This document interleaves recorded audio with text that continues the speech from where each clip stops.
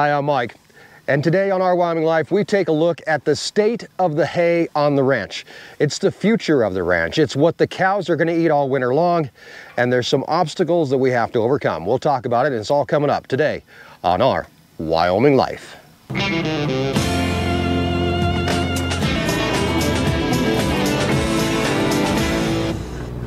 Guys, if you would really like to support our channel, head on over to ourwyominglife.com. You may not know it, but you can buy beef, pork, beef jerky, all kinds of t-shirts, hats, all kinds of stuff to help support the ranch. And right now we've got some great sales going on, including 10% off chuck roast, arm roast, and ground pork. So go check that out on the website. And you can also save yourself 15% just by becoming a Patreon supporter and it's all about supporting local agriculture. If you don't want to help us out and support our ranch, support another local ranch. Buy beef and pork. Do it local and know where your food comes from. And I'll give you a hint. It's not the grocery store. Hey there gang, welcome back to Our Wyoming Life, uh, where we like to explore the ranch life and escape the ordinary. Today we are taking a look at haying. It is just around the bend. Uh, I'm guessing that we're about a week away from starting haying and there's a few reasons behind that that I'm going to share with you as we move through. But what we're doing today is actually going out to take a look at some of the hay fields, actually probably all the hay fields. We're going to talk about uh, hay production and cattle usage of that hay that we're going to make uh, that'll get us through the entire winter season. We do have a few obstacles, like I mentioned, uh, to overcome this year. And the major one that we're dealing with is called yellow clover. This is yellow clover. Most people know it as sweet clover, uh, but what most people don't know is it can be highly toxic to livestock. It's actually got a bitter taste, so you can feed it, but they need to get used to the bitterness before they'll even go after it. We've got cows out in the field now that don't have any interest in it because there's a lot better stuff out there for them to eat. However, once we harvest this this winter, they're not, not gonna have much choice and they're gonna have to eat it. And we're gonna have to make sure it's safe for them to eat. And when it comes to legumes on the ranch, we basically have two that we have to deal with. Now, the sweet clover we talked about, and then we also have alfalfa. And we don't have fields that are full of alfalfa. However, we do have uh, patches of alfalfa throughout the fields. You can see them. They're actually these purple flowers back here behind us. And actually, to tell you the truth, right now, the season that we're in, or the day that we're in, I would actually call this about peak time to get out here and start harvesting these if I was harvesting just sweet clover or alfalfa. But the problem is that we've had so much rain and it's been so wet that our natural grasses, which are wheatgrass and brome and needlegrass, really haven't had a chance to completely head out yet. And when the plants do head out, that's when all that good nutrition heads into the, well, heads into the head of the plant. So when we start talking about like crested wheatgrass, and that's what this is right here, that is the head and that's a pretty small head on that thing, uh, which means it hasn't fully headed out yet. And there's a lot of grass out here that hasn't even started to head out yet. And you can see that as we get down here and look a little bit closer. All this stuff right here, no heads. A little sweet clover down in there, little baby plant. And while we do have some heads on some stuff, most of this in here hasn't headed out yet. So we have a timing issue, and that's with the natural grasses aren't ready to be harvested. However, the alfalfa and the sweet clover are ready to be harvested. Sweet clover actually adds volume to our hay bales. It's gonna, it's gonna increase the volume of what we harvest by, you know, maybe even as much as half. We do have our problems, like I mentioned earlier, with sweet clover. Uh, while it, it is a nitrogen fixer, so it's going to add nitrogen into our soil, which is great. So does alfalfa, as they're both legumes. But we do have a lot of problems with sweet clover. One of the problems that we have is as we start to dry up, it's actually going to get woody. Um, that means that, let's take a look at another one here. I'm going to destroy another little plant.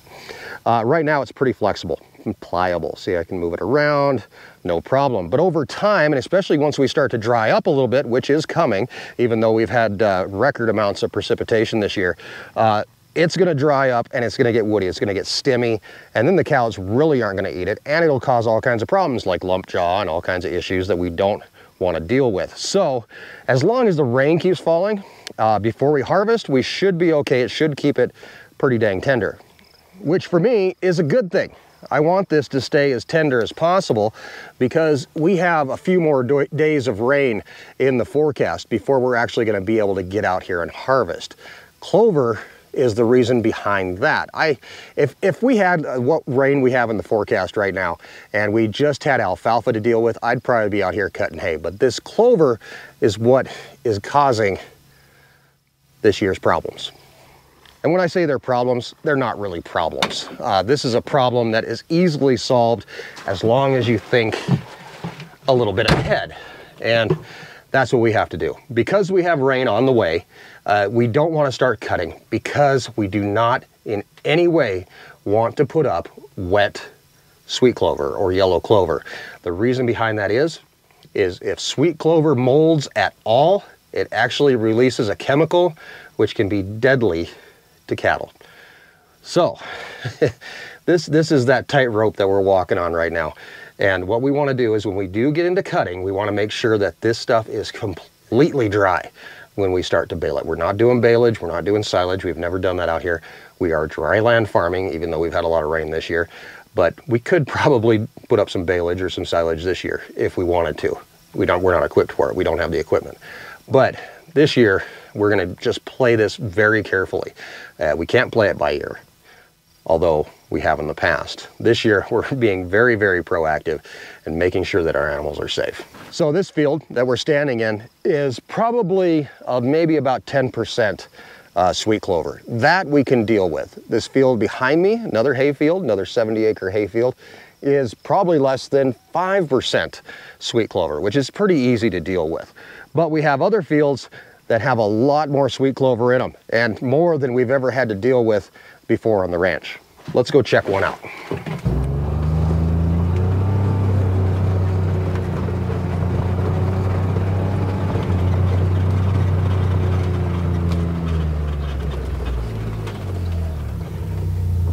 This field behind me uh, is known as Jim's Field. Uh, Jim McHugh was our neighbor.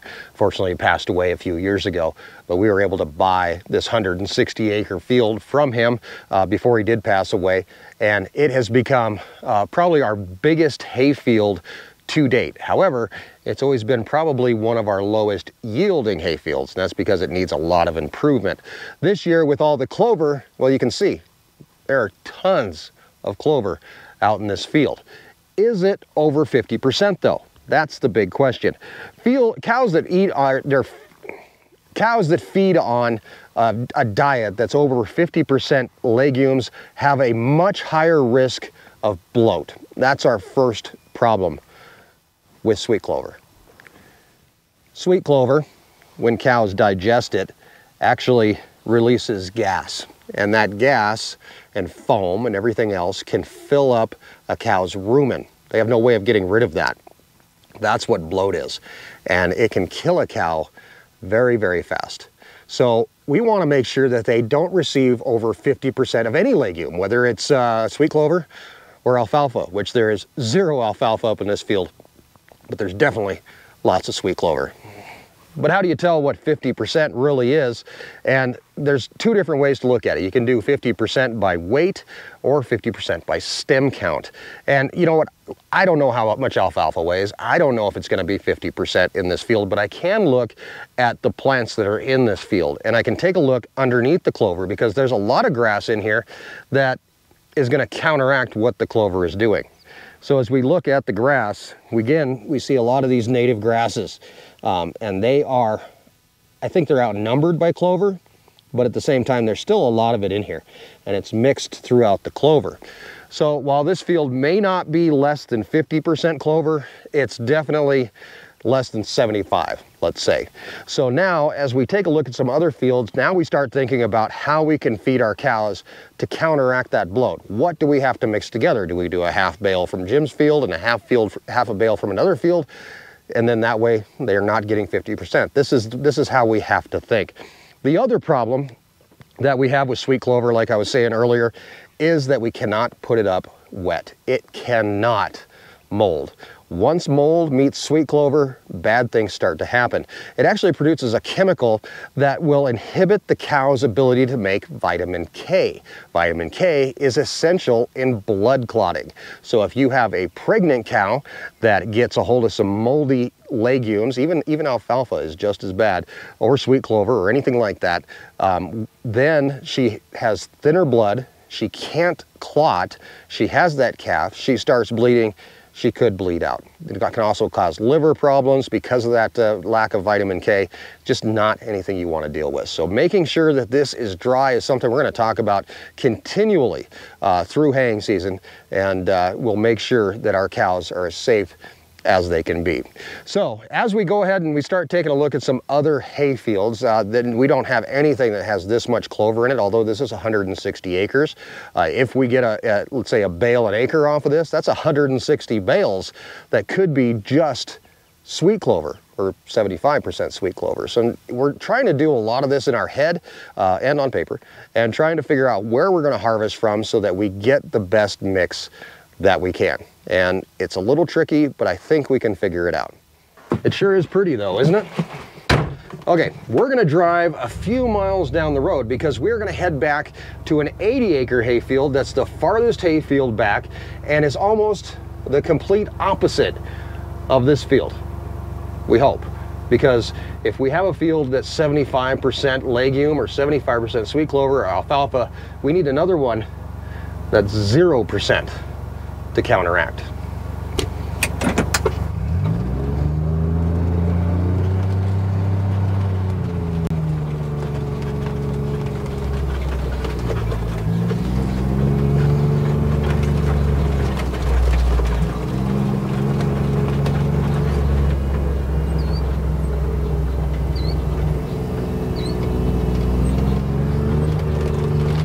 We're still waiting on Bambi to have her calf. Uh, She's a little overdue. There is a chance she may have lost it somewhere along the line and we just didn't know about it. But uh, we're still kind of, there's a tinge of hope there. Uh, but however, you know, when days go by, the, the chances get lower and lower. She was pregnant at preg checking. We didn't have any other cows that sloughed or lost calves. So our hope is uh, that she's just way behind the curve, but only time will really tell. There is a cutoff coming up, and uh, once we pass that, there's no more hope for a calf from Bambi. But there is hope that we're gonna have hay. Since we're on our way down to that uh, farthest hayfield, we have a little bit of a chance to chit chat a little bit. And so we have hay, we know we have hay. And in fact, if you've watched our State of the Hay addresses from the past or previous years, we've actually gone out with a hula hoop and measured hay in the hayfield and tried to come up with what our production will be. However, this year we know we're gonna have hay. There's really we could go out and we could do the measurements and we could figure it out, and know exactly what hay uh, we're going to have, but it's not going to change anything. We know we're going to have hay.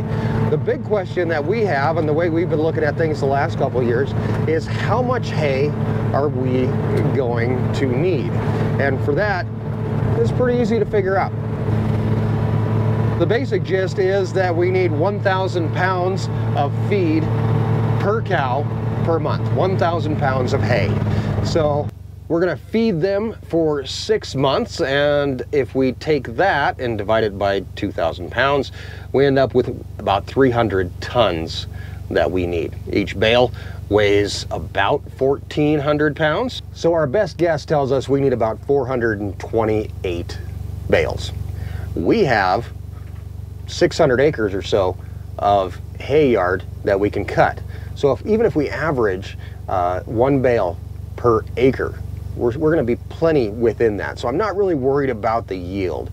Uh, but what I am worried about is making sure that we get enough bales to be able to feed for the winter. So my goal here this this haying season is to put up about 500 bales. If we can put up 500 bales, it gives us a good buffer, and hopefully we can get that uh, that diversity in in our bale makeup that we need to be able to make it safe for our cows, especially with Jim's field being so much clover up and in there. So that's where we're heading down to that field right now. So we're going to take a look and see if it's going to counteract uh, what we get.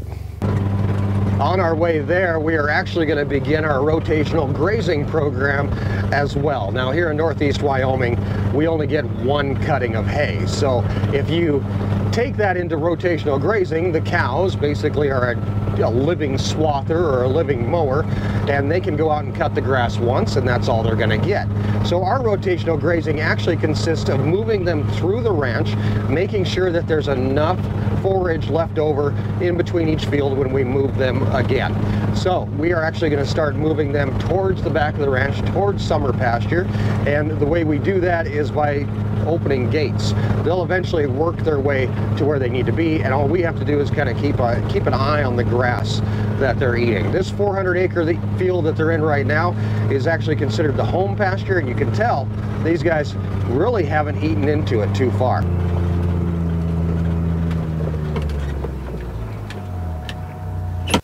The rain has managed to cause a lot of regrowth out here, which is great. But when we compare the home pasture, which I'm standing in now, to the cut across pasture, which we're gonna open up this gate behind us and let the cows work their way up this way, you're gonna really be able to say the difference in between the two fields and the amount that the animals have, have eaten. I love years like this because you can really tell where cows have eaten and where they haven't. During drought years, it all looks like it's been eaten. But right now, if we take a look at this side of the fence, now here's our fence right here. And on this side, this is stuff that the cows have eaten. It's actually pretty short, but there is a little bit of regrowth that's coming in. There's a lot still to eat in here. But when we start looking at the next field the cows are moving into, now this is the cut across. Nothing has been in here yet, and the cows are gonna love it. Grass is nice and tall, very nutritious. Uh, you can actually see that it's been laid down by some of the wind, even by the, uh, the, the dew that's out here. So very cool. And one of the nice things is that I don't really have to push the cows up here. All I have to do is open the gate and they'll find their way. In fact, they're right down there, about three quarters of a mile, and they'll figure it out. They know what's going on. It's definitely not their first rodeo.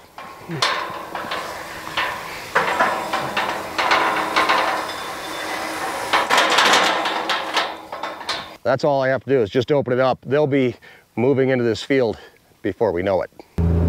And so will we, because we're gonna take advantage of the cut across to get past the hay fields and uh, back to our farthest back hay field where we can take a look and see what that looks like.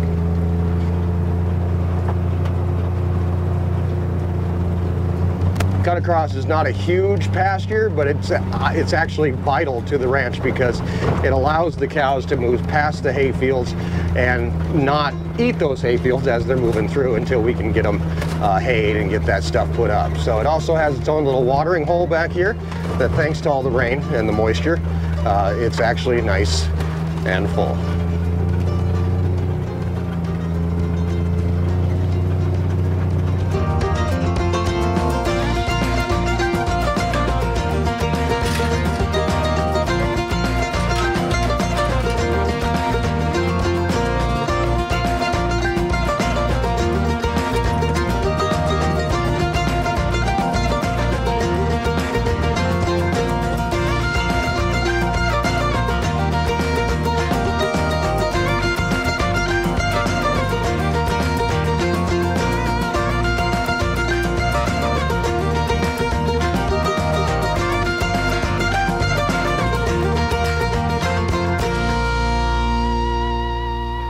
As you can see, we've got clover just about everywhere, except for here.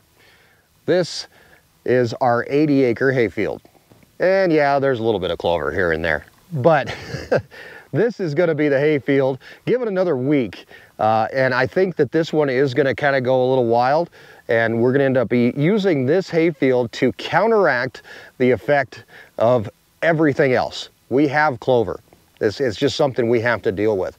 But knowing how to deal with it, like they say, that's half the battle. The other half is actually getting out here and cutting. We need 500 bales, which for us can take a long time.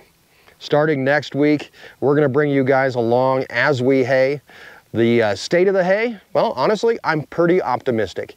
Although we do have some storms on the way. We would be haying now if it wasn't for those storms. We've got a week of storms, about an inch of rain, and the possibility of hail. Hail is the great equalizer. We know we have enough hay out here to get us through this winter.